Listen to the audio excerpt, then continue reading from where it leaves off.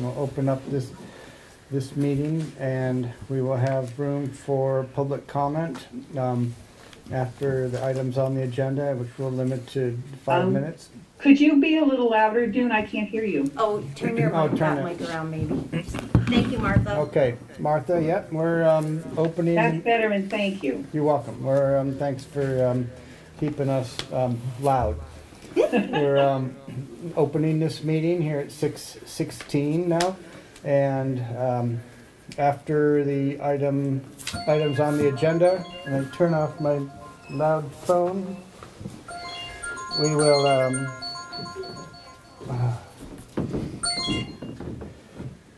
Hello, Robert. Are you having trouble signing into the meeting? Yeah, well, I went, I went down to the town clerk's office and there was a paper that fell in front of the select meeting. I'm like, So are you coming in person or are you going to join us with Zoom? I'd love to join you in person, but that's not gonna happen today. Um, so, Bill, I have Um, the call in number is one nine two nine two zero five six zero nine nine. That's right?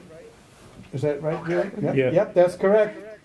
So, um, The ID, I, you, you're in a hurry, you gotta get on. we've got the meeting just started. Yeah, you should have all that information, I think. You, it sounds, The password, the password is nine one eight one one oh two. No, nine one eight one oh two. He said one twice. He said- nine one eight one oh two. Nine one eight one one oh two? No, one, only one, one there. Nine one eight one oh So two. it's nine, nine one eight one oh two. There you go. Board enjoy and hopefully we can, All right, we'll see you, um, see you on the computer there. all right.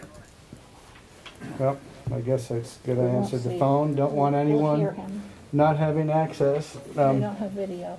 no. Okay.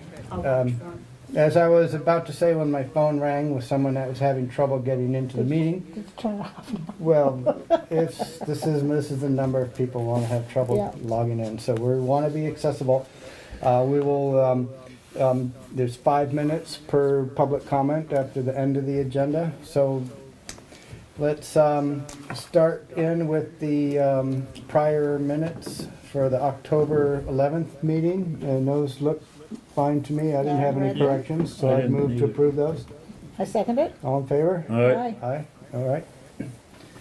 And we have, um, I see the, um, Murray family is, is hovering in the doorway where you're, um, first on the new business, so you want, you want to speak?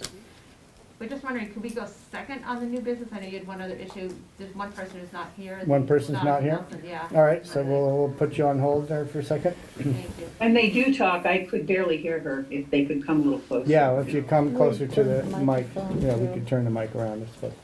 All right, so we have um, the appointment of, uh, well, not the new health officer, because he was the existing health officer, um, John White, and his term of office expires um, on November 30th. And I did talk with John, and he said that unless anyone else steps up that is dying to hold that position, he's willing to continue on. Do I hear any takers? No, so I'd, I'd move to reappoint John White as the town health officer. I second that. All in favor? all right. Recording in progress. All right, okay. And you'll just, uh, I guess they'll let us know when they're ready to move forward. So we have a, jump through that a little bit quicker. Park use thing. Yep, park use. We have an application for use of the Rochester um, Park for the Rochester Rec Committee for a Halloween event on ten twenty-nine. Boy, what we got here? Yep, It's a pumpkin carving contest. Yeah, yep, here we go. Yeah, the um, classic jack-o'-lantern pumpkin display. Um, I, I like that. I think that everyone likes that. I'd move to approve that application. I second it. All in favor? Aye. Aye, all right, got that. And they're still not ready for us, so we've got a, um, lawn mowing, sidewalk, snow removal contract renewal for the summer of twenty-two and winter of 22, 23. And we have, um, We have to advertise that, don't we, June? yeah, I think we do need to advertise. I don't think we can just approve if, um, No, someone is asking that, so we should table that and, and put that out for advertisement. right, Yeah. Just wanted to make sure you guys were ready Yep. for that to Yeah. go right out. Yep. I think Yeah, we go should put it for it. right out. Okay. Yep. Does that go in the paper? Yeah, Mhm. yep, Yep. I believe that, um, the current contractor is, um, looking to see if he can get a commitment for longer term so he can justify investing in some new equipment that would be more appropriate for the, the width of the sidewalks. It was a last year. winter. So Yeah, for winter, yeah. If I'm putting in an ad, what is the time of, length of time that you're looking to, Um, to run the ad? yeah, no, I mean, To for, renew the use- to contract renew the for contract? another three years. Or did you say you wanted? Well, to- it We is the Start the same. clock, or just yeah. two. His is saying two years here, but I think that usually we run that for three years, so let's Okay. revisit that and see what, yep. Okay, so we'll table that for, for on. Um, we have a request to use the town office basement for monthly free food distribution. Frank, do you want to talk about that a little bit? I know Uh, you looked into that. I think Vic's on the line there on the Zoom, All so right. I think he's got a proposal. He was gonna, they were gonna try it out uh, to see how much space they needed this past weekend. I don't know how they did make out Yeah. with, He's here and unmuted. All right. okay, Hello. Hey, Ma- hey, Vic? Hi, can you hear me okay? Uh, yeah, Okay, okay, That was a qualified okay. All right. How about now? You hear me okay? yeah. yeah, Uh, all right, good. Thank you. Uh, so, uh, since uh, for the past year, a group of volunteers uh, have been providing monthly food distribution provided through the food bank to uh, Gifford and also through an Everyone Eats program through uh, area restaurants. And we've been doing it monthly in the parking lot behind uh, uh, Hancock Town Hall. And uh, the way that the food is going to be packaged going into the future, it's going to require some repackaging of the food, and it's just it's logistically a little more difficult. And so we're looking for indoor space to do that, as well as to be able to provide distribution from the same general location. So that's what's driving us to ask this, ask for this now. And this is a program that's serving uh, Rochester, Hancock, uh, uh, Granville primarily, but the other communities adjacent to us are certainly welcome to, to uh, benefit from it. So we've been distributing 60 to 100 bags of food uh, each time, once a month, the last weekend of uh, the month. And uh, we'd like to be able to do that, as I mentioned, from the town office parking lot. This would be on a Saturday morning typically, uh, or afternoon, It doesn't have to be in the morning. I know that we have the recycling and trash pickup in the morning, so we don't want to conflict with that. But uh, what we would do would be to bring in food uh, in, in bulk package uh, on uh, Friday, uh, break it down into packages that can be given to people into their cars, and then and pass it out on Saturday afternoons. So uh, Lolly, Lindsay, and I, and uh, Monica Collins, Linda Anderson, um, have been working on this. We put together a nonprofit organization called the uh, Feeding the Valley Alliance, and uh, we're all about uh, helping uh, with uh, food insecurity in the valley. So we think this is a, an important service for people who are uh, food insecure, and uh, we'd love to be able to, uh, to do this from the Rochester Town Office. We think the, the lower level lends itself well to this. Uh, we um, have gotten some donations. We would like to get a uh, freezer to put in there so that the restaurant prepared frozen meals can be brought in Friday, kept good, and then uh, handed out uh, on Saturday afternoon for those distributions. So it's a combination of those prepared meals plus uh, fresh vegetables uh, from uh, the food bank is what would be distributed. No cost, no questions asked. The only question is how much do you need? Uh, so that's what uh, we're all about, and would love to have the permission to, to do that.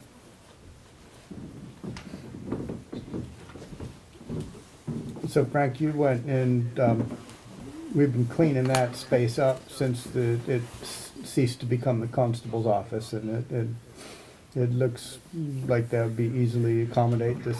Yeah, we'll have to move some of the paperwork that we stored in there, Mm. just re, repurpose it a little bit there, so they got a space where they can spread out and be able to pack the bags. Mm.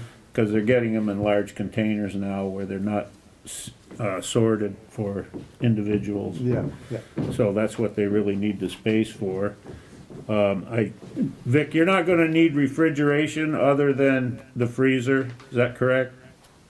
That, yeah, that's all we're aware of right now, and, uh, yeah, just the, the vegetables that we're getting, it's, uh, potatoes, apples, onions, uh, and then there'll be a couple of variables from months, uh, each month, but those will be the three staples. They're, they're shelf stable, uh, and we would put them in, uh, rubber tubs or something for the overnight, period that they would be in there. They come in on Friday, we break them down into bags, put them in, a you know, a a sealable, uh, uh, rubber container, plastic container, and then uh, bring them out uh, the next day for distribution.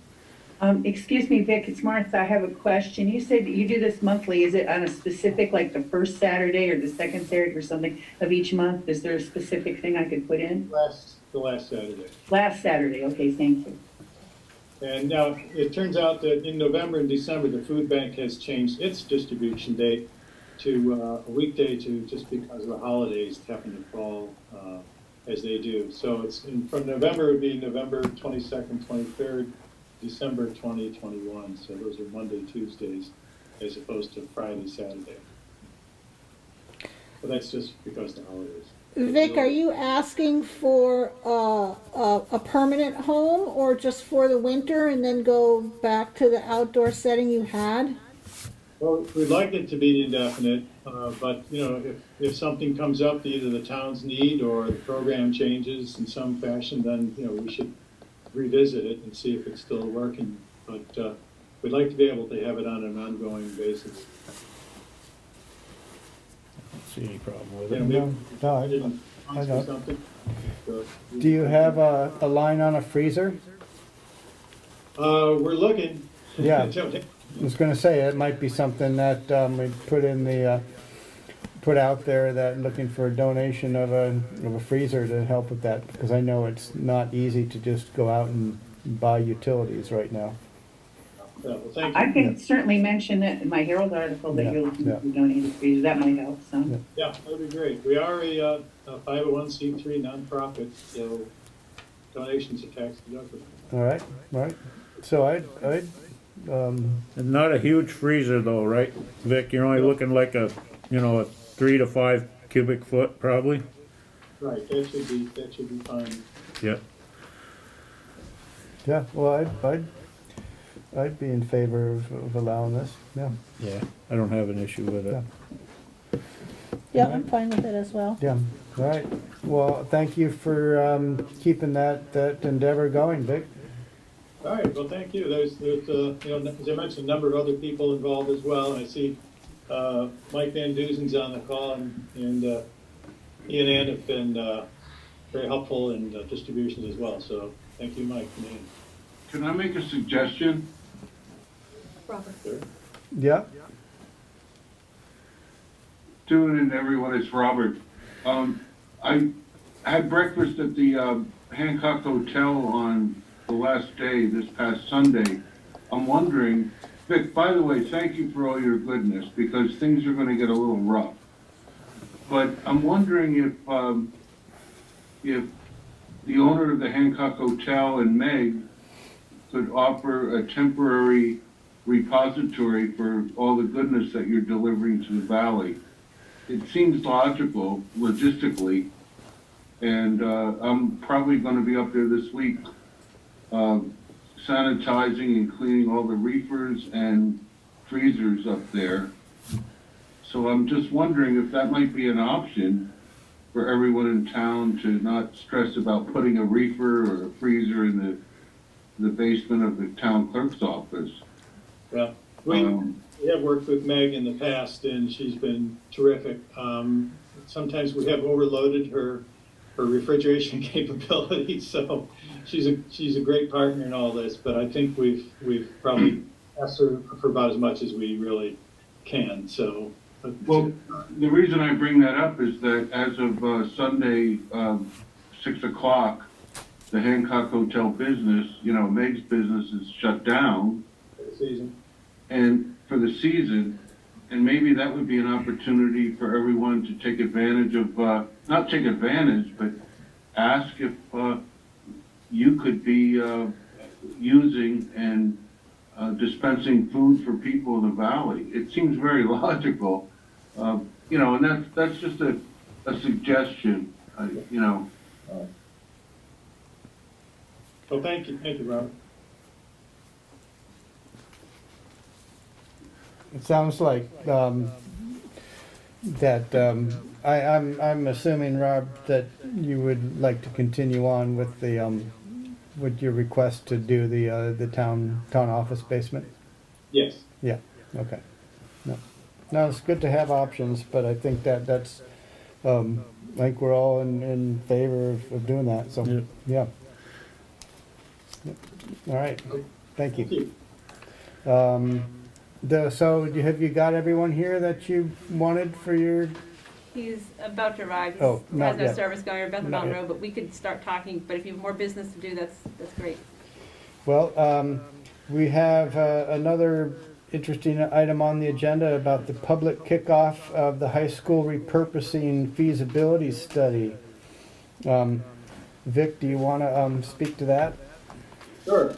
Um, I don't know if Catherine Shanklin's in the room there or not, but I can, Not in the room, is she on the, con- not on the Zoom? I wasn't sure if she was nurse or not. Anyway, but uh, I can speak to that. Um, so Catherine and I co-share, co-chair the uh, high school repurposing uh, feasibility committee, and, and we're asking the select board to approve our providing a public kickoff to the repurposing feasibility study, to which uh, we'd like to invite people from all five towns.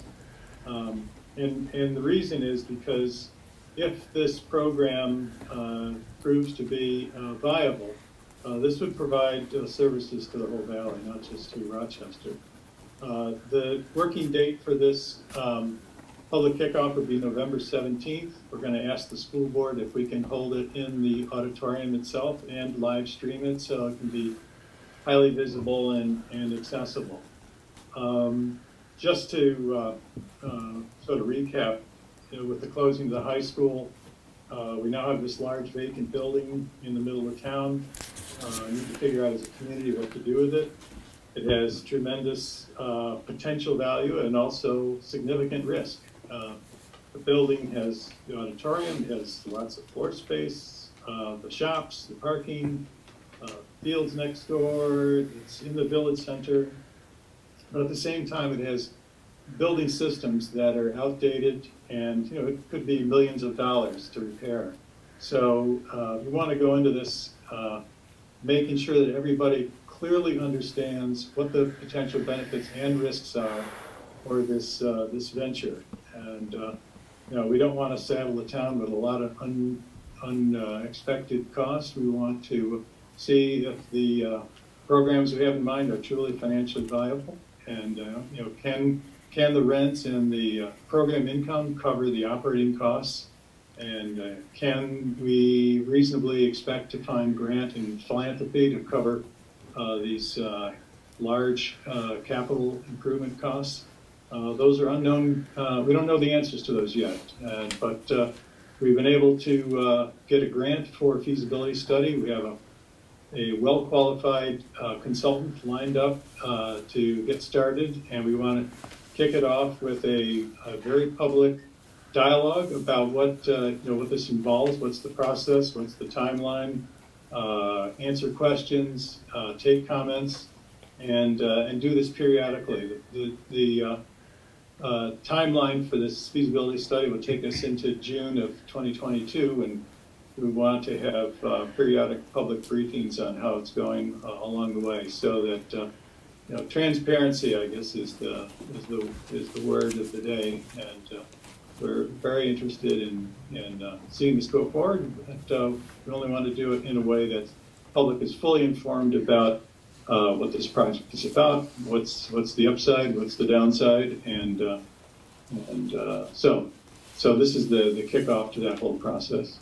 Um, excuse me, Vic, do you have a time for that me- evening? I mean, it's an evening thing, right? Uh, not pinned down yet. Um, as I say, we are, uh, uh, still working on finalizing the, the location and the, uh, uh, the date, uh, is, I think it's pretty secure, but, uh, So if I said Wednesday evening, November seventeenth, and you hope to have it in the auditorium? well, um, I wouldn't want to say that without approval from the school board, so, Oh, okay, so Wednesday, November seventeenth, location TBD. location to be announced, okay, thanks. Sorry about that. That's okay. All right. Uh, Anybody have any questions for Vic?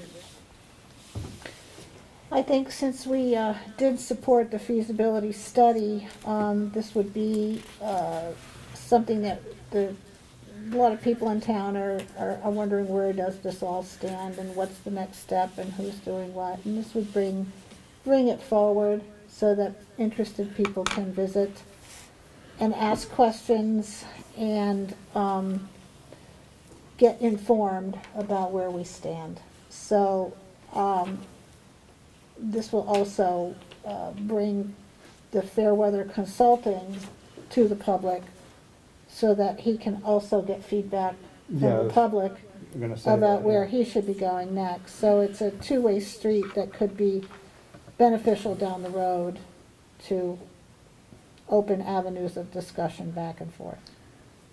I, I I could uh, just touch on the, the agenda as we have it so far. So we'll, we will uh, just briefly recount how we got to where we are with this building, give an overview of the condition of the building, uh, give an overview of what we'd like to do with the building, um, introduce the consultants and have them go through the process and the timeline, the different components to the study, and take questions and uh, um, as I say, we hope to have it live in the auditorium and, and live stream at the same time, so it can be as accessible as possible. May I add a comment? Um, Robert, can you hold on just one moment, please? Robert Gardner was ahead of you. Oh, I'm sorry, Robert. Uh, sure. I just want to first of all say, thank Vic for doing all this work and for putting transparency in the foreground of something like this. I really appreciate that. And I think that's very important for something as complicated as this is, for everyone to understand the very best they can, uh, the upside and the downside of this, of this very complicated question. So at first I want to thank Vic for that.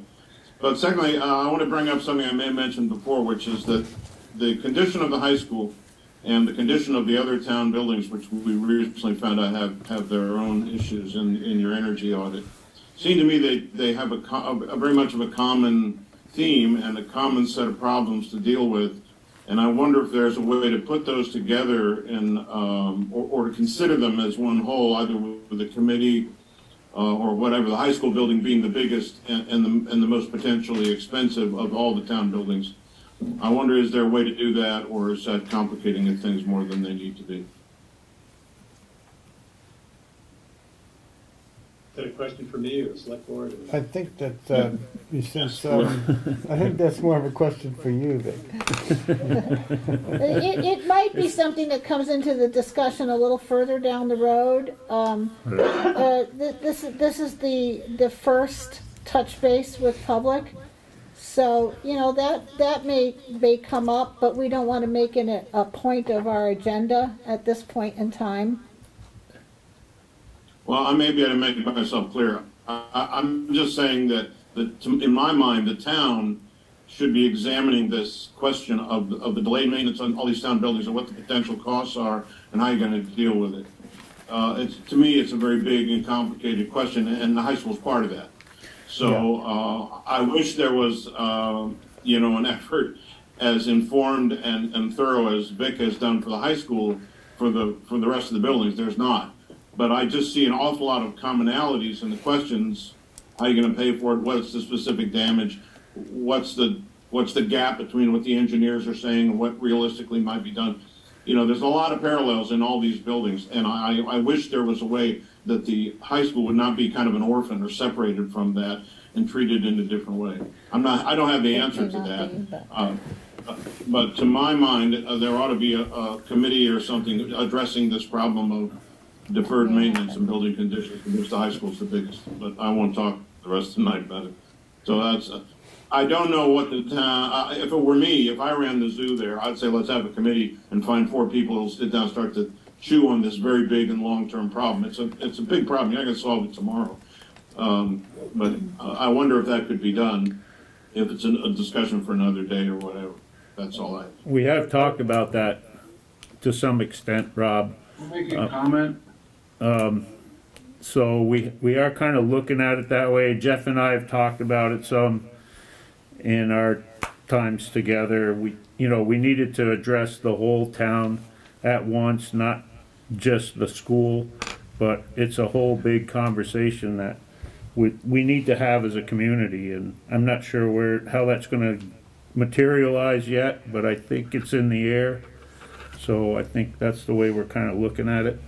Yeah, and this is definitely, with this public kickoff is a, is a step in the right direction, and, you know, this could definitely be something that can be brought up, but I think the focus of this is the, the feasibility study that's been, you know, grant money has been found to, to attack this piece of the puzzle, but it def- doesn't mean that we, um. We're gonna shove everything else under the right, rug. Right.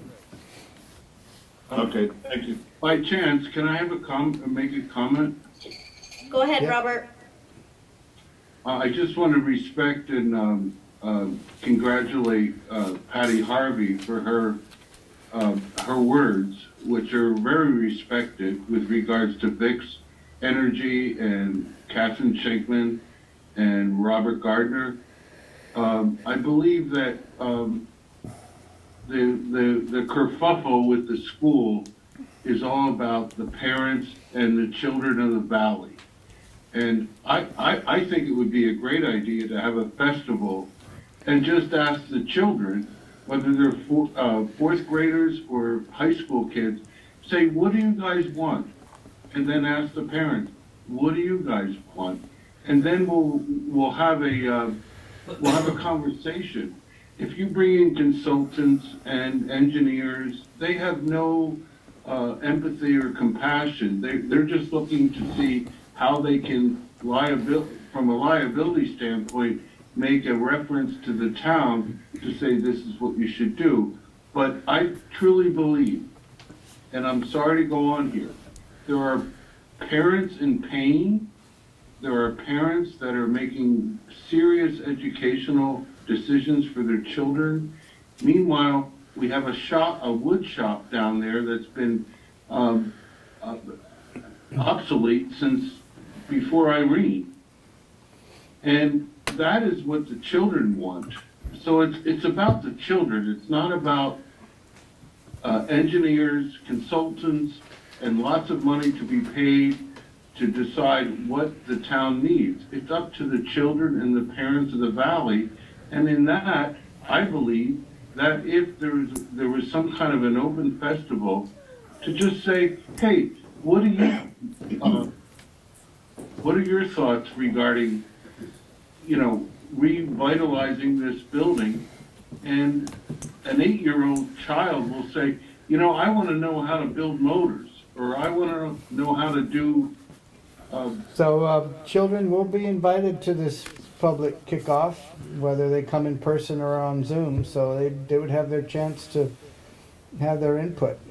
Well, I think the, I, I think that the, the disposition of the topic of the meeting should be, we want to know, we want to hear from the children and the parents of the valley, not a consultant from wherever, or an engineer from wherever to, um, jurisdict what we should do with the building. Structurally, I know it's in, in major trouble, but that building is, is a sacred place where uh, so many things. The, the, um, you know, uh, you, we get your point, and, um, then that, that is a, really a big point of this public kickoff, the public aspect of it, not just hiring a consultant to sit in his office and make his advice, but to bring him here to meet the community and those people that are that are concerned and have input, so it's, um, I think we're, we're headed in, um, you know, I, I, I I sense that we're all in favor of this, uh, supporting this public kickoff meeting, and am I correct there? Yeah, Yeah. Yeah, this, we have to figure out a solution to yeah, this. yeah, it is And go complicated, for sure, forward, yeah, so- and you're right, Robert, the more input, the better. Well, you know, Dune, be- being endearing and compassionate is a very important thing.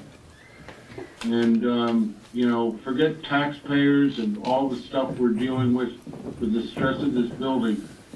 It's like, let the children speak, let the parents speak, and then they'll decide what we're gonna do with the building.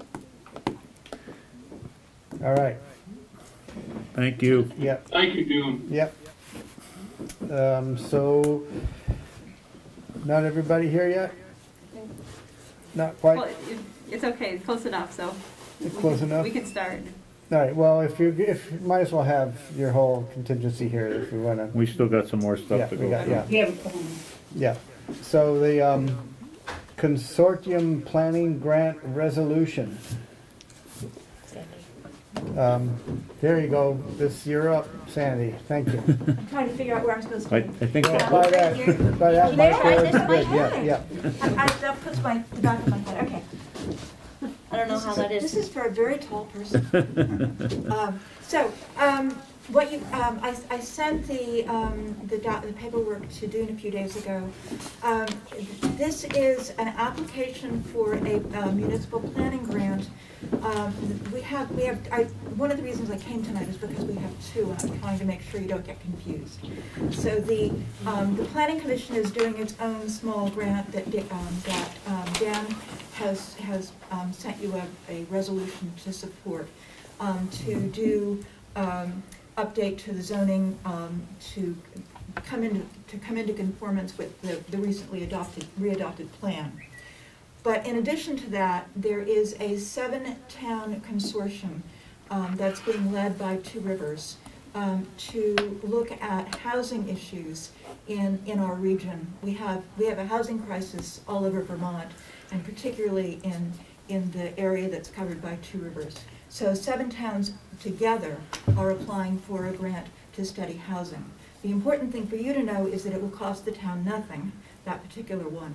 Um, and, and I'm here tonight to, um, ask your support for the, the, we need to have a sign off for the, uh, for a municipal resolution to add our, add our name to that particular, um, grant application. Mhm. I'd move to, uh, Yeah. approve that, make that resolution. make comment with regard to that? Robert Franks? Sure, what do you got, Robert? keep it Well- short, Hey Frank, how are you? pretty good. I've got major concerns for uh, people that live in Rochester that are still waiting for the minutes of the planning board October 5th, 2021, planning and zoning with, with regards to Quarry Hill. And um, the former state representative is now saying she's got a grant for something else. Well, I think the minutes of the planning or the. So, um, wait a minute, Robert, we're, this, you're, Not on the um, agenda. this is not what we're talking about, you're, you're, um, you're on a tangent here. This, that's something that you wanna bring up in the public comment afterwards, but right now, we're talking about this particular, um, resolution. So if you Well, I wanna, if, you- if you wanna bring this up at the, in the public comments, then that, that would be the appropriate time to do this, because this is not exactly what we're talking about right now. Thank you, Thank you dude. Yeah, yeah. All right, so, um, I think that before, um, Robert spoke, we were just agreed to, um, um, adopt this resolution for the planning grant, consortium planning grant, and join these other six towns. I Yeah. second Yeah, it. Yeah. all in favor? Aye. Aye. All right, and then we can sign that right here. Thank you. Yeah, thank you, Sandy, yeah.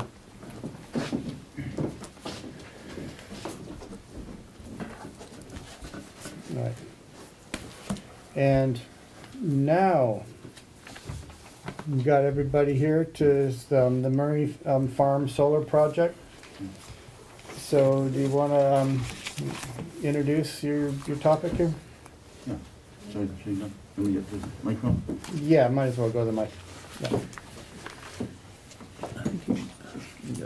Okay, I'm Don Murray, and, uh, my wife Jean is here, my daughter Tay and Tara. Jonna's not here, she's down in New York. Um, but, um, we bought our, our land, our farm back in, well, nineteen eighty-eight, so we've had it for thirty-three years. We bought the, um, that's at the end of West Young Drive, we bought the property on Bethel Mount Road eleven years ago. And, uh, we always intended this to be our home, but, uh, we were taking care of my mother, my mother-in-law, and three aunts who have now passed away. That occupied many years of our time, but we're here, we've been here almost two years now, full-time. Um, I've been involved with solar for a long time. Um, I built a house, uh, designed for solar back in 1977, 78. Um, in 1979, I was on uh, all news radio station in Boston uh, every day, three times a day, every weekday, uh, talking about everything from from weather stripping to global warming, including solar. Um, so I was talking about global warming over 40 years ago. Um, been my dream to have solar for a long time, and I actually installed a solar system on a friend's barn uh, a few years ago.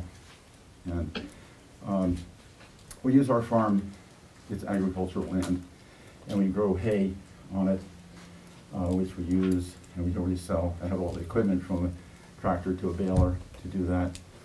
Um, and uh, we really wanted to have solar. We would put some on our buildings, but they need roofs, and this is not a practical uh, solution right now. And um, it's not enough for what we need for our two houses there. Our daughter, Jonna, has a house that she bought recently, and another one that she rents. So it's really for those houses. So we really wanted to put solar, and uh, we put a lot of consideration into uh, where we put it. And my daughter and, and Jonathan will talk more about that. But um, we care a lot about the land. Uh, we care a lot about the appearance of the solar. Is when I see solar uh, panels, I think, wow, somebody cares. Somebody's doing something about the environment, and it means a lot to me.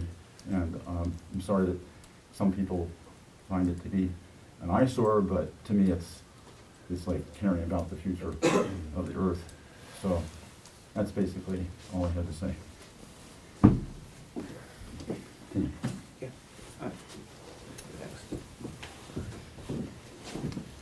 So, uh, Good evening. I'm sorry I'm a bit late. Excuse late. me, Dune, Dune, it's Martha. I'm wondering, um, do they need to get approval from the board to do this? I didn't know that they did, or if they did or not.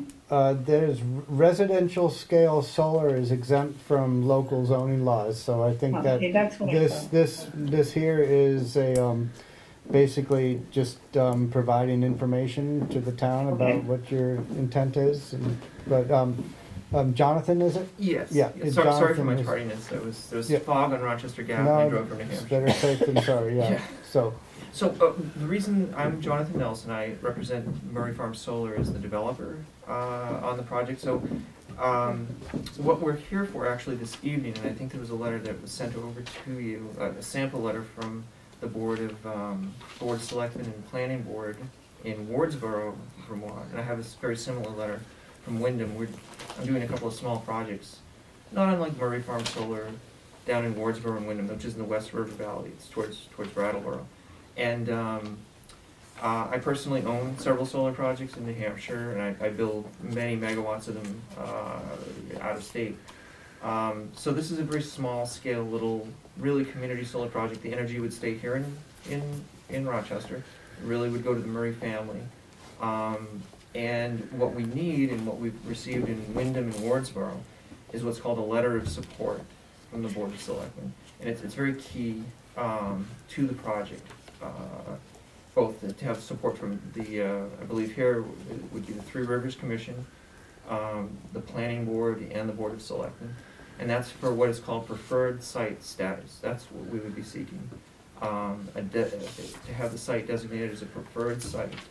Now, um, economically, what this does to the project is it makes it really viable. Energy, energy is going up generally, and solar panels tend to track the price of energy. You, don't realize that you Vermont, New Hampshire, New England's going to get slammed by natural gas prices this winter and into next year. And natural gas is really going up. Solar panel prices, unfortunately, going up. Uh, everything's going up. Steel prices have gone up 300%. Racking for solar panels is, is, is skyrocketing, believe it or not.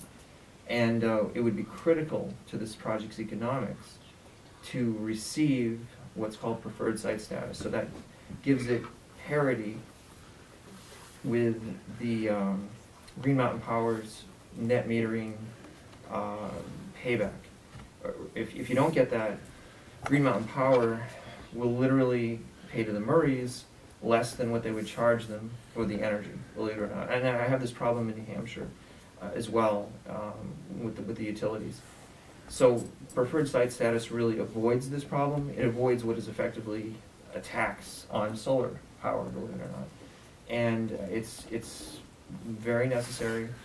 Um, it, it's really, um, it's something that, uh, i- it's, it's, it needs to be done with the project. It needs to be done with all these small scale projects, especially with energy prices skyrocketing and prices of solar panels and steel. Um, and it just brings it to parity, really, for compensation for the Murrays. Um, and the, uh, part of that siting criteria is why did you put it in, why did you put it where you put it? Um, why, why should this be a preferred site? So the Murrays, believe it or not, hired a wetlands consultant, I had them hire that. Um, and he went through several sites on the Murray farm, they own quite a bit of land. And the, in the back of the property is, there's an issue with prime agricultural soil, you know, there, there's still hanging going on there. Um, solar is important, but so is food, and so is agricultural activity and the heritage of that. Uh, that's not going on in the site that is currently being selected. There's also not a wetlands issue where it's being selected, where there was into the back. There's, those might be, look like fields. They are also sort of swampy, and the state considers that to be a wetland in back there. There's, there's parts of that field that's, that's all wetland in the back of the Murray Farm, over on West Young Road over there. Um, and the third most critical piece is utility interconnection. The old line going along West Long, Young Drive is an old single-phase line, and those poles, I swear, and I got a pretty good radar for this, I'll bet you those poles are from the forties. And, I, and I've got a few of them in New Hampshire with the co-op that are from the forties that are still standing. Those, that line and that poles are, those, those are very problematic for an interconnection. Um, you, you, you know, Green Mountain Power might say, yeah, you have to rebuild the whole line or something. And, uh, you know, put in all new poles, it gets really expensive, and it just becomes not economically viable. In the front of the property, there's a relatively new, single-phase Green Mountain line. Are up. Um, and, uh, you know, that's, that's another technical, uh, um, uh, consideration to this. So the siting criteria really pointed to where it's being proposed now. It's not just some, some arbitrary, um, selection. It, it was done for good reason and good cause, and the first site that we actually looked at was in the back on West Young Drive where no one would see it, and nobody would likely complain or say anything. And it just, for the siting criteria that was there, which is wetlands, prime ag soils, and interconnection, it really pointed to the front where, it- where it's being proposed now, um, which is a good site. Um, it meets all the criteria, and, um, this is a relatively small-scale project. Um, it's a, um, it's really only a few times larger than a residential project, believe it or not. And, um. So what is the, the dividing line between the residential scale and non-residential scale? You know? in my opinion, I think, well, actually, the state law would speak to this as well. If you're at fifteen kilowatts, AC, around fifteen kilowatts, I think that's where they cut it off, around fifteen kilowatts. This is fifty, and fifty is really the, the, it's still considered to be the, the, the least intrusive of a ground mount. It's, it's the, the lowest, um, permitting requirements. And anything, anything after fifty, so if you go to 51, 52, 55, and you do what we're doing in Wardsboro and Windham, which are small-scale projects, the permitting is really considered more mediums, um, medium uh, scale. Uh, and then, of course, if you go over 500 kilowatts, it's, it's, it's, it's a whole other different scale of, of things. So um, it's 50 for a couple of reasons. One, the Murrays want to use this power and virtually net meter it for the properties they have here in Rochester. They want to keep it local power. This isn't some massive commercial enterprise. Um, and also the permitting at some point, when you go over 50, it, it, it's just extreme. You, you basically have to get a law firm involved. Minutes are up. Um, so is my time expired or? No. No, your- Yes, Your it's presentation, we were yeah, asking him to speak. yeah. Uh, uh, Robert, the select board is asking him to continue with this, so I'm going to mute your line for right now. Uh, sorry. Oh, no, No. no worries. Um, so, uh, that's the reason that it's sited the way it is, that's the reason that it's the size that it is, it's meant to stay lower. Um, it's not meant to be an you know, ob- obstruction or a, uh, a uh, hideous item on the landscape. Um, and, uh, um, we've received actually letters of support in Windham and Wardsboro for much larger size projects in fields. Um, and the Rochester Board of Selectmen, of course, can make its own determination as to whether they wanna have a letter of support. Windham and Wards, and Windham and Wardsboro Board of Selectmen were very supportive of the renewable energy projects there. They, um, they have siting criteria from, from their regional council that Mhm. shows, um, you know, that those sites were secondary preferred sites or primary preferred sites. I imagine Rochester has this as well I do Rivers. that, I was wondering if you'd had a chance to, to review those maps, because we do have, um, and the actually, um, well, I don't know if you'd seen them, I mentioned them to, um, on the phone earlier, and the, um, the back field actually is, uh, is a primary, you know, Prime is, is, is a prime spot, yeah. And The- it's, and I was just curious if that, that one of the criteria would be to optimize the efficiency of the, the solar installed, that seems that would be an important consideration. I'll, I'll tell you, one of the things they didn't put on those maps is they didn't consider interconnection, and, and that's a, that's a really old, single-phase Yep, line there. Yep, Um, and I'll, I'll tell you, I did a small project in New Hampshire. I literally had a three-phase line right across the street, and I mean, you know, the width of a street, right in front of the project, right in front of a piece of property. Liberty Utilities ca- charged me sixteen thousand dollars to go, to put one pole in and cross over a street. And that was just, that was just to cross literally from pole here to pole here, across the street, sixteen thousand dollars. To go and rebuild the line on West Young Drive, you don't want, the- even on a single phase project, you, you'd be looking into hundreds of thousands of dollars, I mean, eh, and, and Green Mountain Power, because they don't want a burden on the ratepayers, if you put a solar project in, they make you pay the full cost of the rebuilding of any upgrades to their, to their infrastructure. You bear it as the developer and the owner, because they don't want it, fairly enough, going to the rate base, which is fair enough. So, unless you're putting an enormous project on West Young Drive, um, which would not be supported, I don't think, by that single-phase line, um, anyway, I don't think that would be a viable spot, to be quite honest with you. And, and then there's ag soils and wetlands up there as well. And We checked it, and we have the wetlands maps on it, from the Mhm. wetland delineator on that. Um, so, uh, that's, that's really what we would be hoping for, would be a consideration for a letter of support, and would be asking the planning board as well. Um, I think Don is concerned with global warming, I think most people are. Um, these little, small projects like this, I think, uh, Vermont is more favor, favors more of these smaller scale projects than these monsters. Um, and, and that's what really, this fits the bill, it's a smaller, little guy, it's a community solar project, it's local power. It's people trying to do their small part to maybe make this a better world for our grandchildren.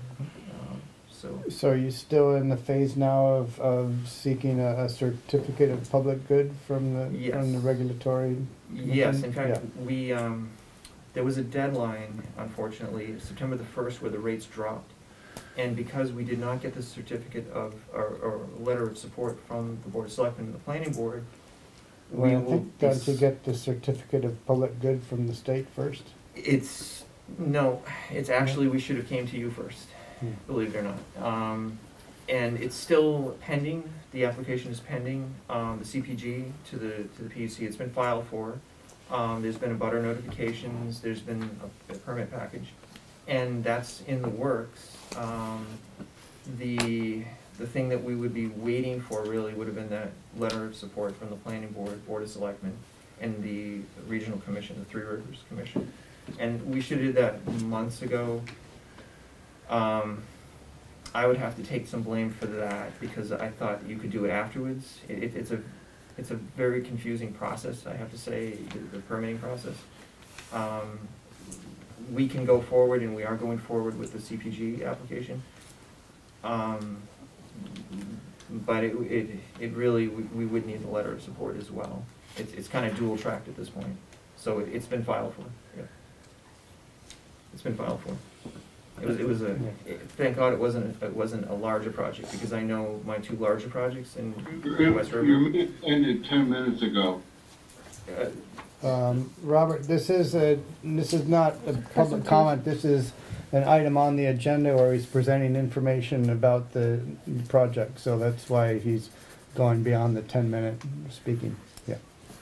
Five Well, I minutes. would, I would, I would recommend that maybe those minutes that we just spent listening to, you know, solar energy and marketing, we focus on the school in Rochester and. Robert, we're gonna mute you muted. now because you're, you're, you're going off topic here, yeah.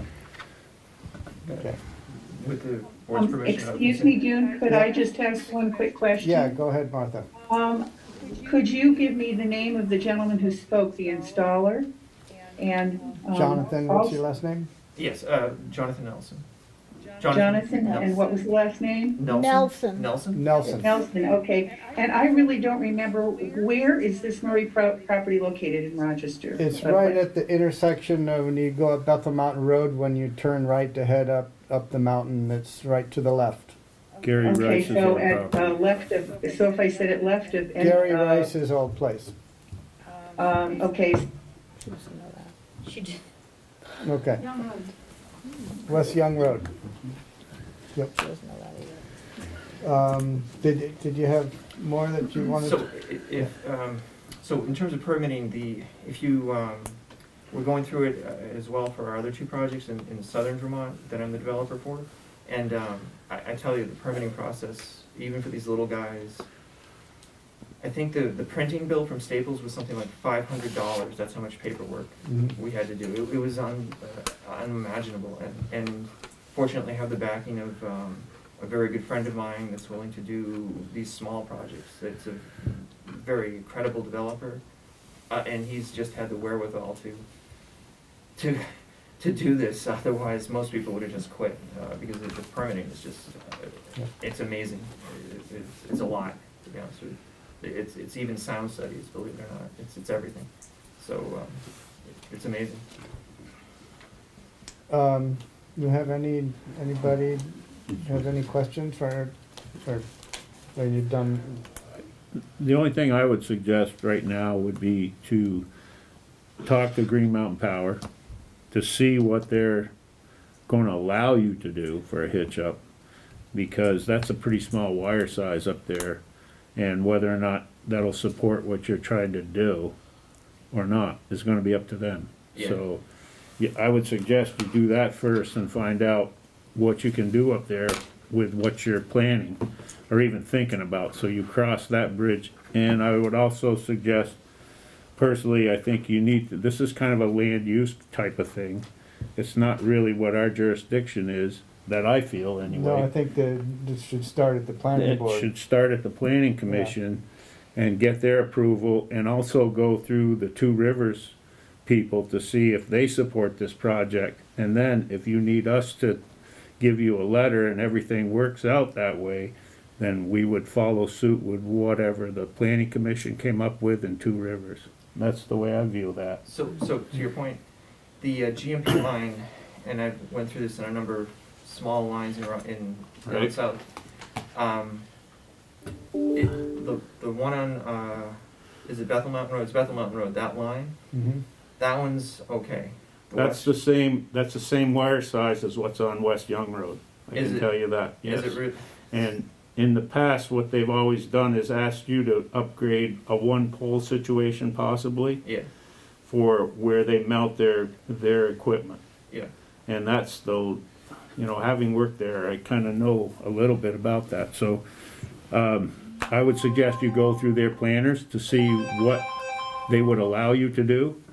Well, actually, I have spoken to them, and they, they seem to be, uh, they seem to be okay with the, with the West Young, uh, uh, the, uh, Bethel Mountain Road line there. Yeah. The poles are okay there. Those actually should be moved out of the field. I've, I've been told that they would not actually be averse to moving those poles out of the field and putting them along the side of the road because they have servicing issues Right. um, on those poles in the field. And uh, they, they would have preferred that those be taken out. We had a discussion actually that went to the, to the COM people and to Green Mountain Power, and they'd be willing to remove those and put new poles at their expense, um, not at the solar project's expense, to uh, right along Bethel Mountain Road right there. So Right. we, the Murrays are, were concerned about making too much of a fuss on that because if you start moving wires and moving poles, then you're gonna get into more tree cutting, which isn't on us, it's on the utility, to be perfectly honest with you. Right. But they don't wanna, you know, make too much of a fuss and have this, you know, have a law of unintended consequences start spilling over and we end up with more tree cutting and then, you know, all these kinds of environmental issues, uh, that, you know, as stewards of the land, the, the Murrays care about their trees, is what it amounts to, and, and Can I make a comment? Robert, um, hold on just one second, please. Rob Gardner was ahead of you, and we're waiting here in the room for your turn. So hold on just one second, please.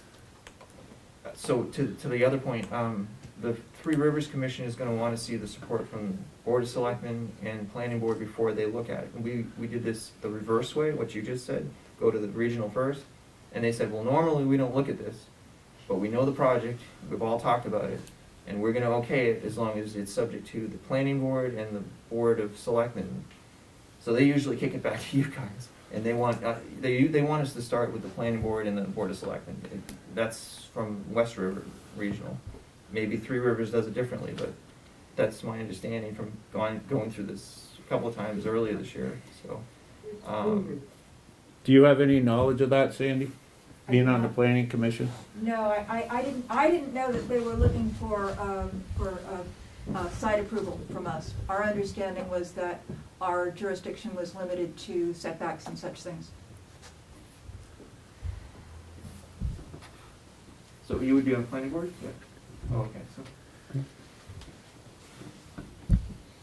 so. If it, um, so I guess we'll need to do a little research and figure out what is that, um, break between residential scale versus a larger scale, um, whether that's fifteen or, or fifty, and, and to what extent, where our zoning laws, where, whether we even have any say about it, you know.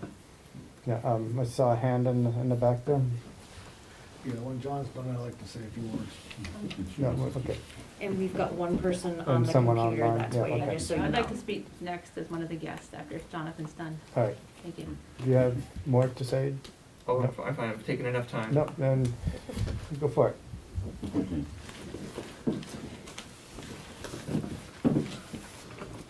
Hey, Rob Gardner, you're on my radar. We're just gonna finish up in the room here. Okay. Thank you. Thank you, I'm Pagan Murray, live at two fifty-nine West End Drive. Um, and just wanted to talk a little bit about the project and appreciate what Jonathan my father have said. And I've grown up hearing about solar and have gotten to experience it more on a personal level, working for the same, same solar company that Jonathan works for. And, um, we have put in enormous amount of thought and effort in our family with Jonathan on every aspect of it and where it should go. Um, and working with Jonathan, he is, takes every effort to not cut down any tree that can possibly be cut down. His own solar project has a walnut tree that hangs over it, and he's losing a lot of money a year because he's keeping the tree, and we have the same values.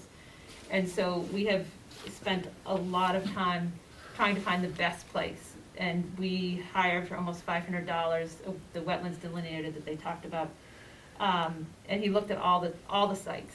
And, um, one of the sites was along Bethel Mountain Road, but involved removing, it was completely wooded, and removing all of the trees. And as a family, we didn't wanna do that. Um, the other sites, what our prefer, favorite site was on West Young Drive, it was too wet. The other sites are farmlands, and, and just to be honest, we value the farmland. Um, we have not utilized, it's being hayed, but we haven't utilized it to its full capacity. Um, you know, we're, my talking about crops and, and animals on it. We spent many years traveling back and forth taking care of my older relatives, and so we couldn't, you know, we had to be back and forth constantly, but that's not the case anymore. Um, and the wetlands delineator said that, that farmland is not a preferred site. Of course, wetlands are not a preferred site in any endangered species or whatever. He picked this site, and I can show anybody the map I have of all the sites that he looked at. Um, he said that this was the preferred site. And it's also better for all the practical reasons that, that Jonathan mentioned. Um, and, and just going back to being stewards of land, when we bought it, when I was a kid years ago, um, Richie Curtis said to us that the barn was built, and he has his name written on it, that- that they built the barn there because it was on the wetland. They valued every square foot of the farmland. And they did not want the barn to be, to take up any space of usable land, so they built on the wetland. We're paying for that now by a barn that's sinking and needs a lot of work. Um, and we bought the, the land, it was about to be developed with over ten houses. And we put in a backup offer, got it, we treasure every bit of it, and we don't wanna put the solar project on farmland. And, and that's what the wetland delineator said to us, that this was the best spot. Um, so we're trying to be good stewards of the land. Um, we also value have it not be in anybody's vision or, or not, you know, something that's an eyesore. Um, I think there is something said for, you know, as you approach Rochester, if you see a little glimpse of it, it's kind of a gateway to Rochester and kind of speaks for the town, and I think, um, that people would be proud of, of seeing some of it, but we took great consideration in, for the Blaines and what they might see. One of the sites was, oh, more right in front of their house, or down toward Kinley's house, we X that off. It's, it's actually by our house, it's, you know, I know that they wrote a letter of objection, but it's, it's, their view, where they look in the mountains, the valley, is not in that direction. The- If they were to look at our house, that's in the direction of the solar, it's not, they would not see it in the direction of their view. Um, so we, we took that into great consideration. We've told them that we, there's a row of trees there already, that we would put some evergreen trees on. We're also in the process of, of doing research on a low-profile solar that Jonathan has built, uh, several of these, um, I have as well, where the solar is very close to the ground, so the, the bottom, it's only maybe a foot and a half off the ground or foot, and the top is maybe three feet. It's low profile, it's not, much less visible. Um, we're in the process of investigating about reverters, so it, it sends power back through the panels to melt snow, because that's the problem around here, with, it would get covered with snow. So having it be something that is, um, not uh, visibly objectionable to people is something very important to us, for our neighbors, but also for us, because it's directly right near our house. And we picked that, that spot for all the practical reasons, and we're the ones bearing the, the visual disturbance, the most of having it by our house. Um, so, those are basically the reasons, um, that, that we picked that spot, and, um, I don't know if anybody had any questions, or, I, think my sister wanted to add something in. Hi, I'm- I'm Tara Murray, I just want to say thirty seconds. Um, If there's something, one negative about our family is we care a lot about other people, and we put a lot of time into, into that concern.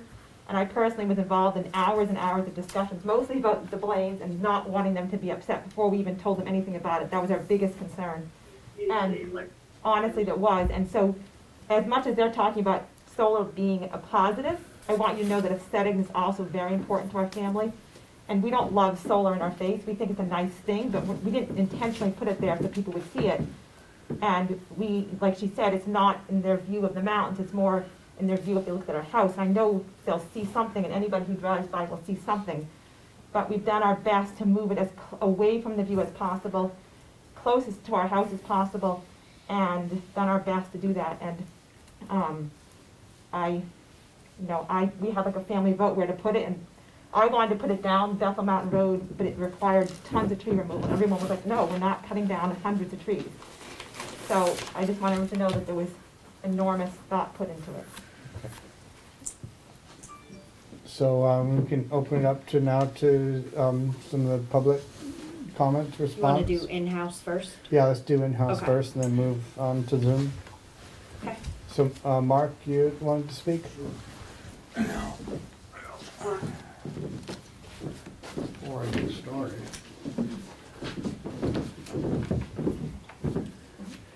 Just to give you an idea, this is the scale of the solar project that we're considering here tonight. Um, And I say this with a certain caveat because as we know, everything on the internet is hundred percent true. But I did do uh, some research as to what the size of a fifty kilowatt solar installation is and I've also got, did a little homework on my own here. Uh, fifty kilowatt is hundred, approximately hundred fifty-seven panels. Three hundred thirty watts per panel is pretty much the industry standard right now. Uh, and according to Paradise Energy, for what it's worth, that comes to roughly three thousand sixty-one square feet of disturbed space. Just to give you a point of reference, that's roughly fifty percent bigger than our house. Um, common size solar panel is a three hundred thirty watt. It has an area of eighteen square feet from the Panasonic company. Uh, so we're talking some fairly good sized disturbed space. Um, question I had, and this is going back from a cell tower installation I had some input on a few years back. Is there a regulation that requires owners to post a bond or surety to ensure the removal of the system if it fails or is no longer economically viable? The answer is no. It's not required for net metering under PUC Rule 5.900. It is only required on installations of one megawatt or larger. The other question I had was, what is the zoning of the Murray property? And June, you can probably answer this better because you're on planning and zoning board. Well, I'm not on the, I'm the, the administrator, I'm not Well, on the okay. board, but yeah, yeah.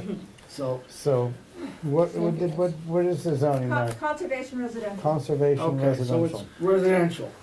Uh, as per the Ver- 2016 Vermont Guide to Residential Solar, systems over 14.3 kilowatt are not considered residential. This is a commercial scale installation. Um, Net metering rules in Vermont encourage the use of sites not suitable for other development and discourages but does not prohibit the siting on other properties, and that's from the Vermont Public Interest Research Group. Uh, Installation of solar facilities is administered, administered under Act two forty-eight, which under, is under the authority of the Vermont Public Utilities Commission. Act two fifty and local ordinances are not applicable. That's from MSK attorneys up in Burlington. Uh, Regarding aesthetic mitigation, it's required under PUC Rule five point eight and in addition, Act 248B1 requires compliance with local screening ordinances, which cannot be more stringent than for any other type of development. Does the town of Rochester have such an ordinance in place? I don't believe so. Not that I'm aware Okay. of.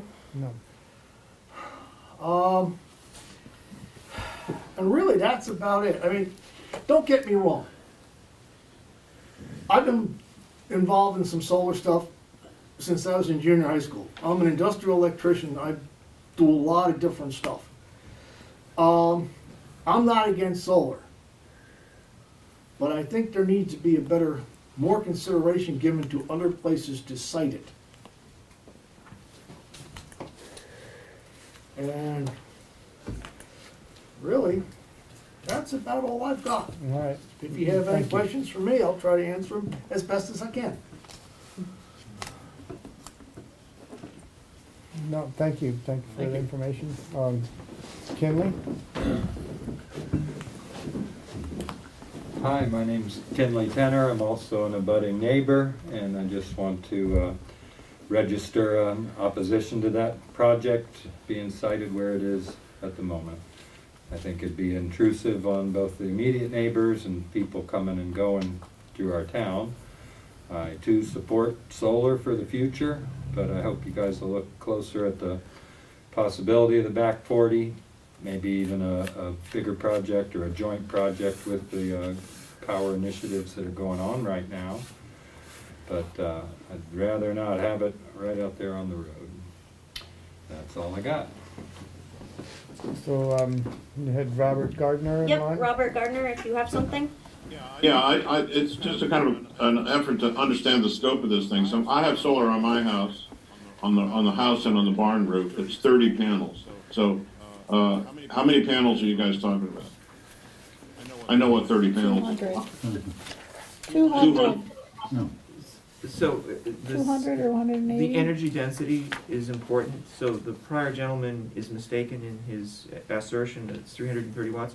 I just put forty-two hundred panels on a roof, uh, and I Two used hundred panels on a roof? forty-one hundred panels on a roof, yes, On a and roof. then a Lipton Tea Corporation's roof. A big roof, yeah. And that was, those were four hundred and five watts, and that's, that's old by industry standards. Mhm. I was actually looking at the new five hundred and forty watt panels, so the impact is, it's half of what was just stated, and that's just the way it is. So this is old information and perhaps incorrect information on area of disturbance. So, Um, so how many panels are you talking about then with the newer, higher wattage? Seventy-five kW DC divide by five hundred and forty of the latest, you know, most efficient monocrystalline back reflecting panel that will get a benefit from snow reflection. yeah. So you do the math, it would be, Well, it You must would be know a number. about half of, you Half know, of the two hundred roughly, yeah, maybe a few less than that, yeah. Go around a hundred. So maybe a hundred? maybe a hundred, a little So less, maybe. The Murray project is two hundred panels, did I hear correctly? No, or- no, no, we just, um, determined this it would be around a hundred panels, and are these the standard size, or, I mean, when you These say the new- panels, that's relative to how big the panel is, you could have a panel Yeah, as big these- as this room. These are the newer, more efficient panels. So whether with each one percent increase of efficiency, you get a much higher energy density. So the industry wants to go, obviously, to higher energy densities and smaller footprints, right? Mhm, right. It, it's better for Right. everything. Yeah. It's better for your racking, it's better for everything, installation. Um, so three thirty is a project that would have been maybe three years ago I would have done. Um, I actually used three thirty watt panels on a couple of my projects in New Hampshire with a low profile installation and you can hide the visual aesthetic impact of that with a six foot vinyl PVC fence. I put it right on the main street or, or one of the main thoroughfares on a property I own and I've not had a single person say anything about it. In fact, I've had a lot of people tell me that looks fine or we don't even see it there. So, you know, So Robert Gardner, did he answer your question? We're looking at about a hundred panels? Yeah, Yeah, and which would be like three houses. If we use thirty panels on one house is a, all right, thank you.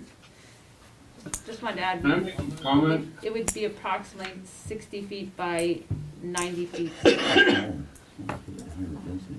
Maybe fifty Whoa. feet by Hold on, Robert. seventy-five feet, square foot, that it would take up. It's very small. So say that again? Approximately fifty feet by seventy-five or eighty feet. That would be three sets.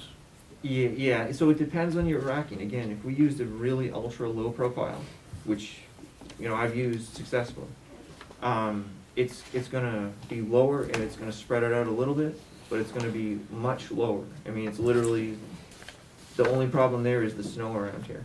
That's, that's the problem with that one. It Right. technically can be done. I've done it, so. And All right. on Zoom, Robert All right, Franks has a Robert comment. Franks, now's your turn. Hey, thank you, Dune. Hey, I wanted to ask the gentleman that is um, um, promoting and marketing his uh, solar panel array down at the Murray Farm. It's a simple question. What per foot does it cost to run electricity, proper electricity, to a household? Is he still online and can he answer that question? um, I, I, I'm not, um, commercially, uh, it's extra, extraordinarily expensive to run these. I can't hear that person. You have to, you have to talk to the microphone. He's coming to the mic, Robert, just one second. Uh, yes, Robert, can you hear me? I can hear you. Yes, so your question, uh, cost of residential uh, line extensions, I guess is what you're saying? The question is, the proper electricity delivered to homes in Vermont, what is the price per foot? Uh, well, normally pr- electricity is priced in kilowatts, cents per kilowatt hour. I didn't ask you that question. I asked you. You may not know the answer then. Ye- I guess I don't know the answer. Well, if you're, if you're developing solar panels up on the Murray Farm and you don't know the answer to the price per foot of electricity provided by the state or the country, um, I think you should be dismissed. I, I respectfully disagree, as I don't quite understand your question, but uh, I, I respect your, your, your opinion. Put it forward to you again. Oh, no, is- this, we've, we've heard it twice now, Robert. It's, it's, um, your, your, your question, I assume, is how expensive would it be to improve the line to move the, the array somewhere else? Is that what you're getting at? No, I'm asking for the, the Okay, ground okay. rules of electricity in the United States and the price per foot right. as of tonight. So, so, um, I guess we don't have the answer to that question here. Well, if you don't have the answer to that question, the, uh, this whole discussion is mute. Uh, As you, Well, thank you, thank you for your opinion. You wanna, um, mute? Yeah. Um, is there anyone else on Zoom that has a comment on this? There are no hands raised, No so I think hands, we're good. no hands raised? Can I- Can I say one really quick thing? Sorry. Just sitting here, I don't, I don't uh, breathe solar and drink it every day like that. I don't understand it. So sitting here, I'll make sure maybe other people don't understand something, which I wouldn't if I hadn't been listening to them for days. Um, That we, I believe this is correct, that if we did it in a field on agricultural land, we couldn't get preferred site. And that would mean, Um, that's not necessarily true, actually. Okay. Um, I don't, I don't think that, um, I- we were told by the, by the engineer, the civil engineer, wetlands delineator, that agricultural land is not considered preferred. And the problem is that if we don't get preferred site, we can still do the project, but we'll just get a lower percentage from, from the, the electric company, which, you know, we're hoping to use any benefit of this to preserve our barns, preserve our property, and to make things better on our property or in town. So it's not like we're trying to, you know, take advantage of anybody, um, we're just want the product to be Mhm, more viable, mhm. that's all.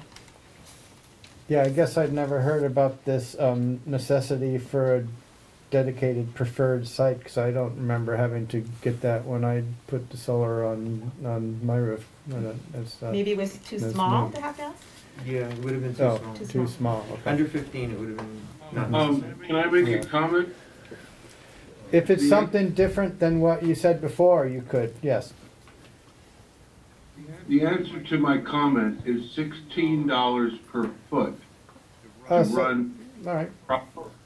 good, good, so you knew that. Thank you.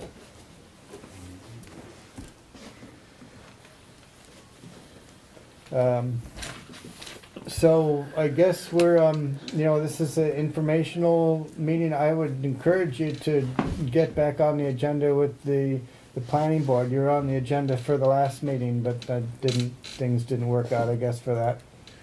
Um, do you have one more? Yeah, I just wanted to quickly add, um, I was just gonna say what you said, I, I, we apologize, we didn't know that it was on the agenda.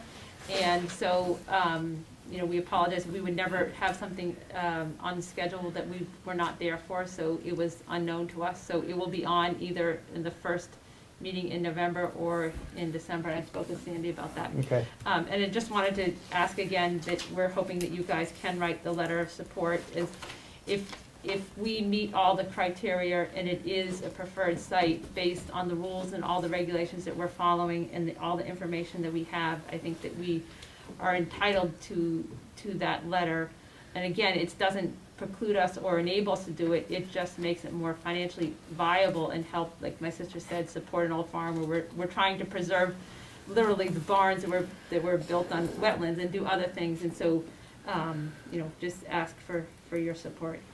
Thank you. Okay, yeah, I guess we're, we're, that's not a decision we can make right now, we have to, this is a new presentation, so we'll have to, you know, do due diligence and, um, you know. Would, would it, would it help you to talk with the select board at Wardsboro or Windham? to Not, not really, I think it's more, um, I mean, that's, that's probably a whole different situation, where, you know, it's, um, I have two questions. We've got someone in the room here, Robert. Um, hold on just one minute. Hi. I'm, I'm Jean Murray. I'm Don's wife and the mother of Mhm. three girls, and grandmother of Mariah, and friend of Jonathan. And um, I just couldn't let time go by without me saying that um, we've, you know, we've we've owned this for over 30 years, and and have dreamt. I came, I came, grew up in Dorchester, inner city. Um, just dreamt of going to a farm so long, and I'm I'm kind of like the research person um, who and has has done stuff about crops that we want to grow. We were talking about. Uh, we went to a solar thing five years ago about growing hemp um, for rope and other things like that. I mean, we've we haven't done that because of health issues and so forth that's plagued our family for a while, but we seem to be past that hopefully. And um, also, um, I've done research on, on different animals. We have two barns, um, and we want to we want to make it a farm, the way it's supposed to be and the way it was. And um, we use every bit of hay that we cut. Um, and my husband cuts. It's got all sorts of hay rakes and all sorts of things that we have. Um, we use every bit of it, and we've sold some. We we use it for all different things. We have we've had events on the farm, um, you know, weddings and different things that we've done, and you know, it's it's it's a nice um, it's a nice um, uh, place that that shows what I think of what what I think of Vermont to be. And I, I love to have people come and see it. We rent the, the, the, the, the house in the front and we invite people to come and, and see the farm and I, I think it's it's a good it's a good thing. And I'm sorry, we we we hate the idea of putting the panels where we don't like them. I mean it's like I wish I could take this of this and that of that and put it all together and make the best, but we can't. The um, the, the wetlands delineator looked around, he said, he, you know, by, by just looking at vegetation that grows, if it's the most prominent thing that grows in the field, then he knows what kind of, what kind of water that is, and th- this was out, this was out, this was out, we were shocked. And so we had no, very little choice in the end. Um, actually, we didn't have any choice at the end. So that was it. And so, um, and, and we don't like it, you know, basically pretty much in front of you know, qu- at least a quarter in front of, of our house in front. We're trying to make it as small as can. We're gonna spend more money, as much as we can possibly scrape together, to get the best panels, to make them as low to the ground and as much efficient as possible, so that it'll be the least invasive for anybody, because that's just, you know, what we wanna do. And, and hopefully we'll get to do it, and I hope, I hope that this isn't, you know, kiboshed by, um, by you know, I, I understand, I wouldn't like it either. I, w- if I, you know, had a view and I found out, hey, there's gonna be some solar panels there, I wouldn't like it either. Um, I, I don't know what to say about that. We tried, we tried our best. We're very worried about the Blaines, we're worried about Yeah. Kinley, and, um, we, we eliminated as much as we could to try to get as best as we can. We really, we're in a corner. We're just boxed in, and that's how it is. We didn't have any idea it was gonna be like that. And we can't put it way far away, it's just, it's so far away, they say we'd be prohibitive. And if you had a million dollars, you wouldn't do it, because you'd just lose money paying for all the, the wires to go underground and all the things to get it way in the back, up there, up high there. So, all right, we, That's we, all we um, can we get it. say. Yeah, thank you. Thank you. Thank you. All right, No hands on Zoom. I think we're good to go. okay, um, thank you. We'll just to be continued, I guess we'll get on, we'll, um, have this, um, conversation again on, at the planning board, which is, um, probably where, where to start, good place to start. Yeah. Right, I mean, not that we haven't started already. June, you have uh, muted me, No? and I'm going to make a very serious question to the town of Rochester. Um, This is directed to uh, Martha Slater and Julie, the town clerk. There are two questions and one request. This is on the agenda. Are you listening? Uh, you just, uh, please make your point, Robert. It's not a point. Okay, make your question. Number one, who is the webmaster of the. Rochester website of Vermont? Well, Robert, I'm not sure why you are asking questions that you know the answers of. You know that Norm Christensen is the, manages the website for the town of Rochester, Vermont. What's, what's your second question? Next question, who has access to the open, the open, uh, software that can access the, uh, deletions, requests, and anything onto the Rochester website? I believe that Julie can add the, um, she regularly adds the agendas and minutes to, to the meetings. To the And when we need something more complicated, we ask for Norm's support. Okay, so why are the meetings of October fifth, two thousand twenty-one, planning zoning board meetings not present on the website? I suppose it's because we have a new person that volunteered to take those minutes and they're not quite up to speed on what is required of that, and we're working to remedy that. Well, I would suggest that, that anyone, whether elected, appointed, or employed by the town of Rochester, that they, when they wear the hat of the responsibilities, they take on open meeting rules and make certain that they are proper. Well, thank you for that right. suggestion. Thank you, we're working on it. Okay. Yep, gotta go. Yep, bye. I'm still in the meeting. All right. Um, The next item on the agenda was the issue of the reserve counts at the White River Credit Union and our recommendations to move those to the Mascoma, is that we're thinking? That we can uh, get a better return on, on those? Which, which accounts are we talking about? So these would be all of the reserve accounts um, that are currently at the credit union. It was a suggestion that they made Mm-hmm. because they know that um, there's possibility that we would have um, a better return on that money if we could, yeah, send them Yeah. over too. So it's, I want to say 15, 30 accounts, 15? Um, It's all the accounts in the, yeah, it's all, the- uh, twenty, twenty something. must be twenty in, in Yep. here anyway, right? Yep. Yeah, they're printed on a page in there, but yeah, it's all the, all of our reserves that we have at the credit union. So you would still be opening an individual account for each reserve? Correct. Yes. Yep. They would be set up the way they are at the credit union, but just moved to a different. line. Nineteen. Yeah. No, I, I might as well, if we can, you know, every little bit more we can get in the coffers is, is, is, you know, Is a, is a Yeah. plus. yeah, so, Move it, yeah, I'd move to make that, make that switch, a second? and all in favor? Aye. Yep, alrighty. Um, now we're getting on to, uh, Joan, are you still here? She is. Yeah, do you wanna give us your updates? You're muted, Joan.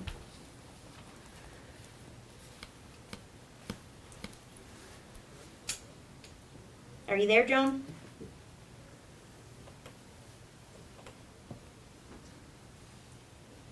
Oh, here she comes. All right. I, I unmuted myself. All right, there you go. Okay, I'll start again. It's gonna be really quick.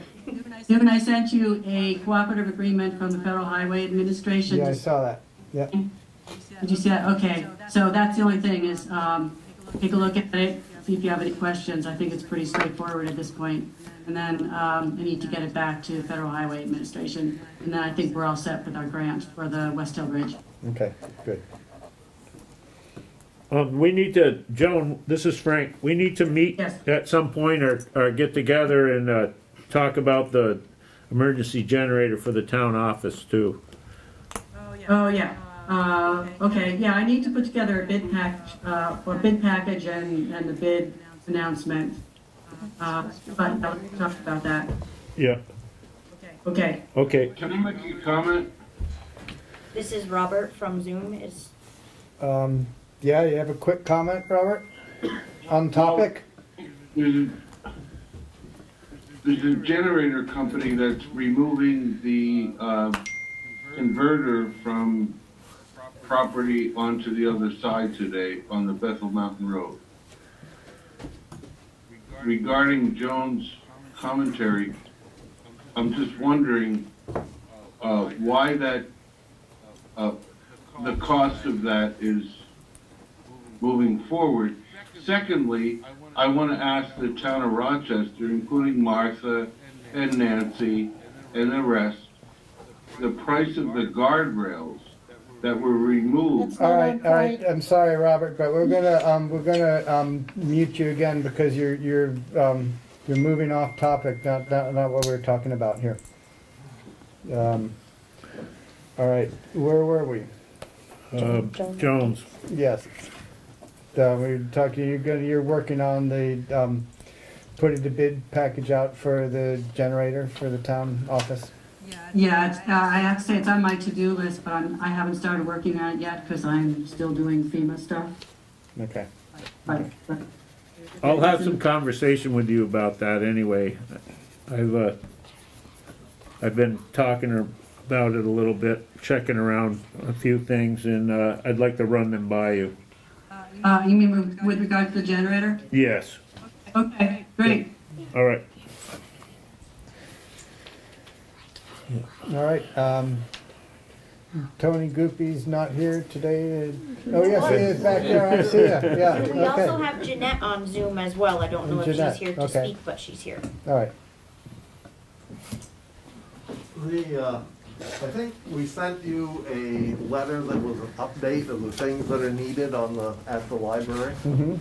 Okay, and, uh, I would just say that I would, uh, second, or even more, uh, Rob's comments about the committee to look at these situations with the town buildings and, okay, that's yeah. all I have to Yeah. say for now.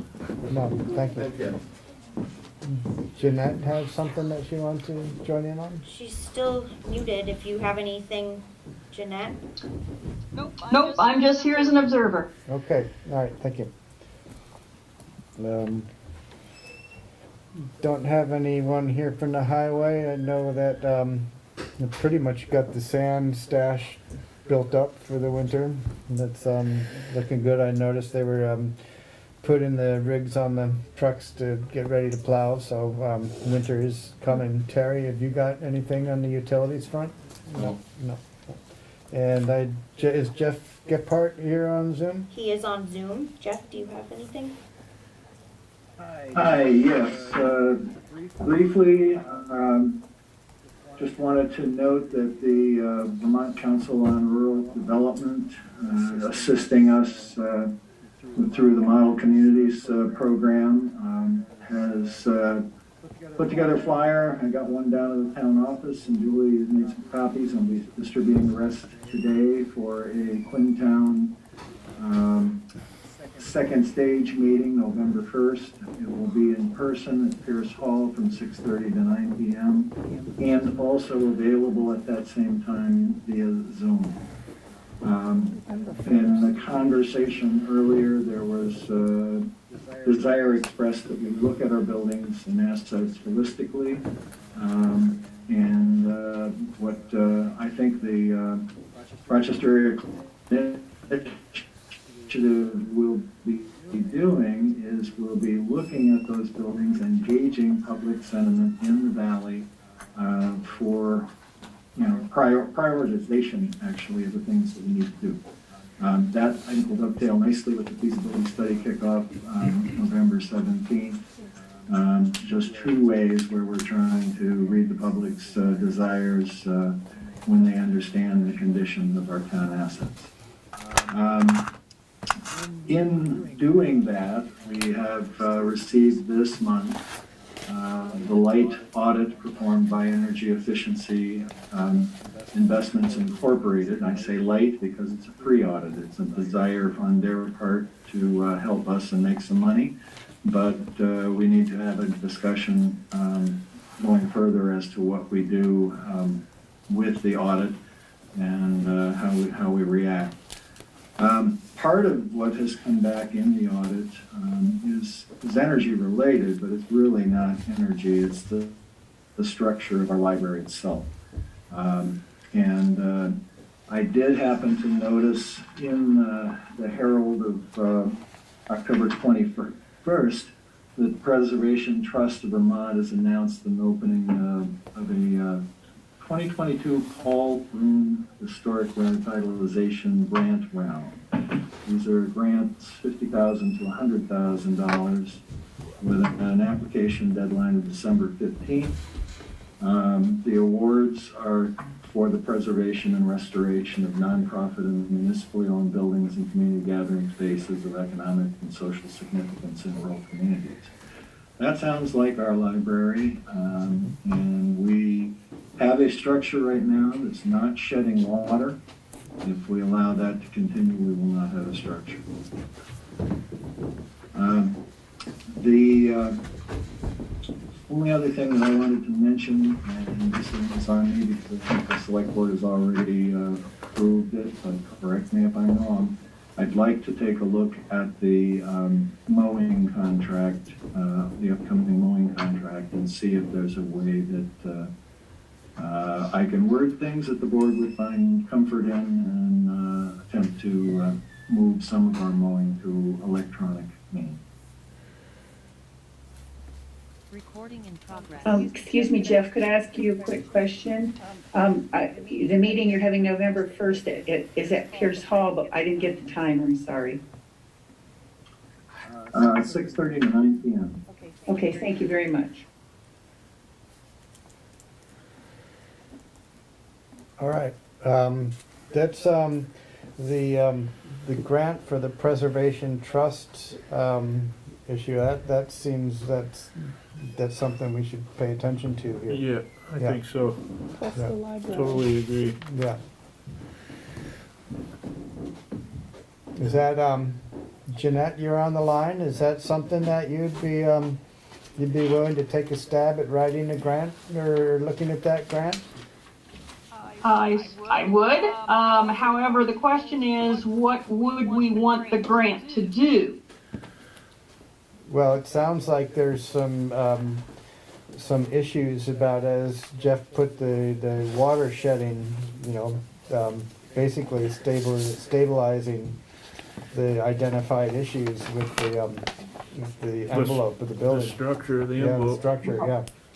Because I know, I mean, they won't pay for routine maintenance items, uh, such as the painting. What No, I'm not what, yeah, wondering, yeah, yeah.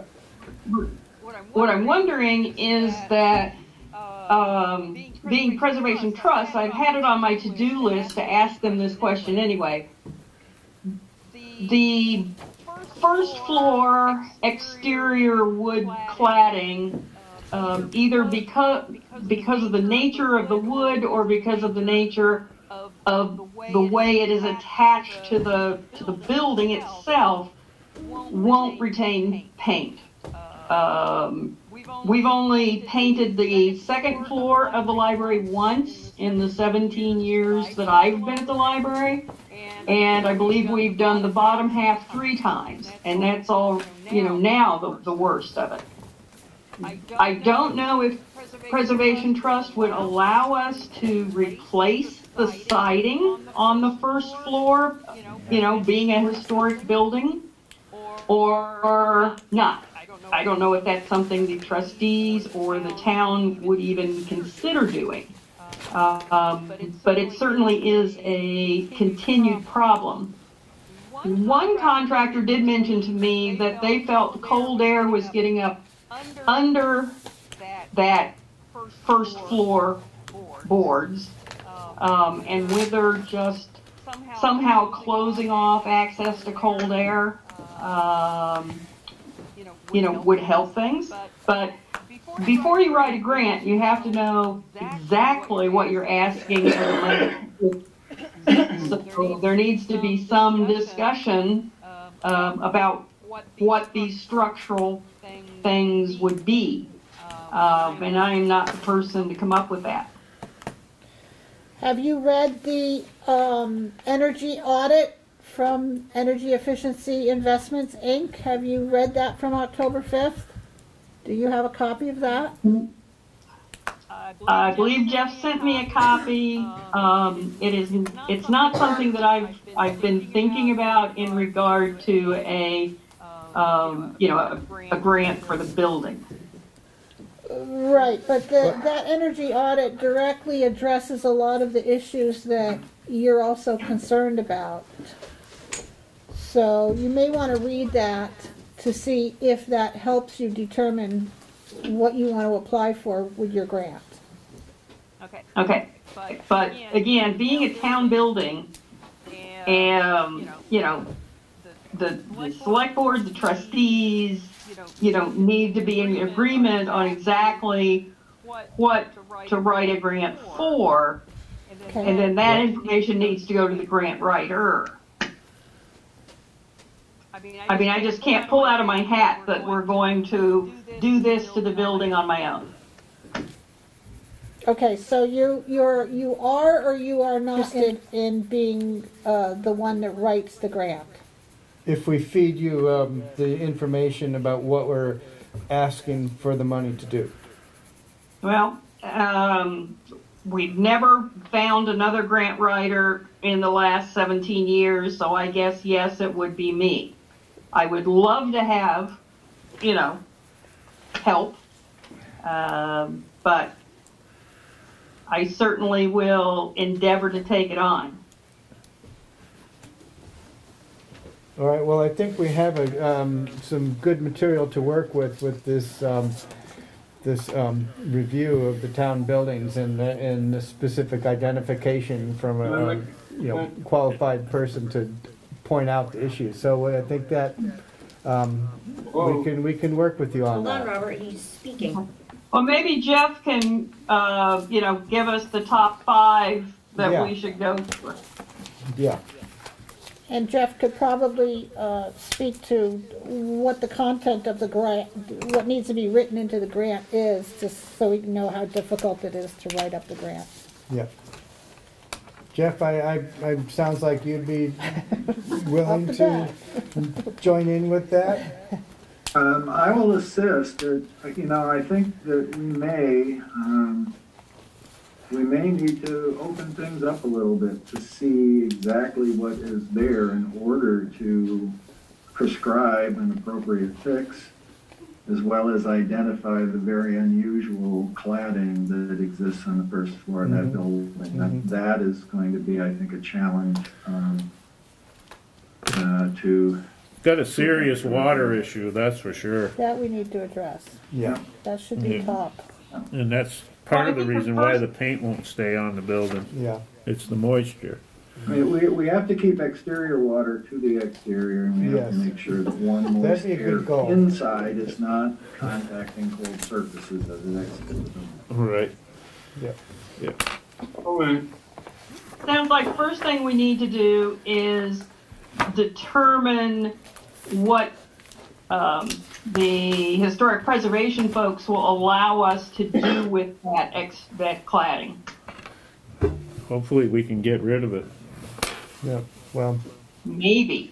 maybe. I said Maybe. hopefully. But if we could at least, uh, um, eliminate the infiltration of water behind it, that'd be a good first step. Yeah. Yeah, yeah. I'd like to make a comment. About this, um, grant, Robert? Yes, I, I believe that, uh, the town of Rochester and, uh, Jeanette and the library or whatever should not depend on Three Rivers and the grants that are being, um, offered. Now, with regards to one, one important thing in a library is silence. And I do not go to the Rochester Library because there is no silence. Because the librarian, um, is not proper. Okay, um, well, we, take that, um, that seems to be a, a separate topic than what we're, um, what we're talking about right here, but, um. Well, again, good do, input. do You're- Yeah, it's, you're, um, you're, And you live in Bethel. yeah, and you're diverging from, uh, is the Bethel Library silent? Let me make this clear. The clappers that Jeanette's talking about could be replaced, repaired, insulated, and restored in a proper manner in the next week. Okay, If all right. you didn't, again, you didn't listen. Yeah, well, they're not clapboards either, so, um, um, thank you, thank you. So, um, I think that we don't have anything under old business, and we do have an item for public comment. Is there anything that we didn't cover tonight that someone would like to speak about? Um, then I'm going to thank everyone for, um, for their input tonight, and, and we have, um, plenty of things to think about, and, um, Uh, I'm responding. I move to adjourn. No, Thank you so much. no. No? A second? You So second moved. that? Uh, um, yeah. Well, all in favor? Aye. Okay, thank you. Good night, everyone. Good night. Good night. Thank you. Thank you all.